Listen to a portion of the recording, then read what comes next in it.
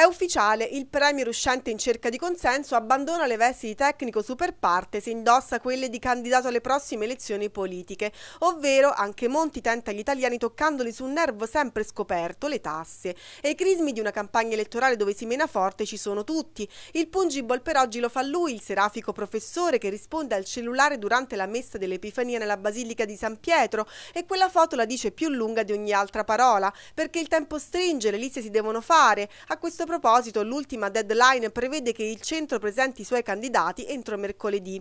Di parole ne ha dette molte Mario Monti, da novella utente di Twitter, da guru del terzo polo ai microfoni di Sky TG24. È lì che si lascia dietro il cliché della promessa elettorale, che è sempre quella da che mondo è mondo? Le tasse. L'unico politico ad aver osato dire che pagarle è bellissimo è il fu Padò a Schioppa. Berlusconi ci ha vinto le elezioni nel 2008. Da lì in poi la storia è nota. Via Lici è piombata l'IMU e ora di nuovo promesse. Queste.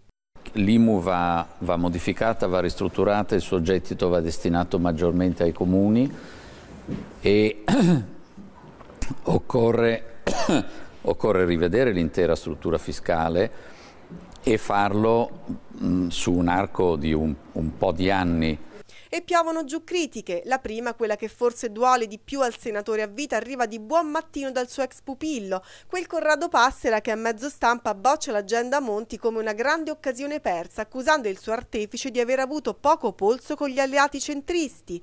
Il Premier avrebbe dovuto imporre la sua linea a Casini Company, spingendo per una lista unica meno esposta a correntismi. È questo l'amaro pensiero del ministro per lo sviluppo economico. E siccome il presidente uscente se la prende sia col PD che con il PDL gli risponde anche il non silenziato Stefano Fassina che domanda lumi per l'inversione di tendenza sul fisco. Caro Monti, chiede il responsabile economico del PD, come mai prima i soldi per abbassare le tasse non c'erano? Taglia corto Berlusconi che dice ci hai preso tutti in giro e si fa viva anche Tremonti con una provocazione che suona più o meno così. L'IMU è incostituzionale, quindi gli italiani possono chiedere un rimborso al proprio comune. Parole durissime anche da Nichi Vendola che ha presentato la squadra di Sela alle prossime elezioni. Monti non riesce a vedere il dolore che ha provocato al paese, è il guru di un'elite, dice il governatore della Puglia che vede come il fumo negli occhi un possibile ticket post voto Monti Bersani, almeno quanto il professore vede lui come come un ostacolo per quella stessa collaborazione.